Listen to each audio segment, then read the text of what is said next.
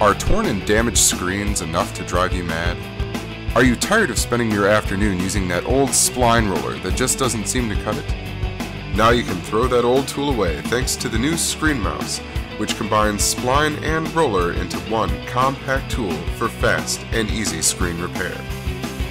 Remove your screen window or door, feed the spline through the screen mouse until it exits the front, press the screen and spline into the frame groove using the front wheel, align both wheels into the groove and applying pressure to the tool, push the screen mouse forward.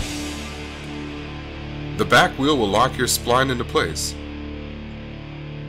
Trim the excess and you have the perfect screen.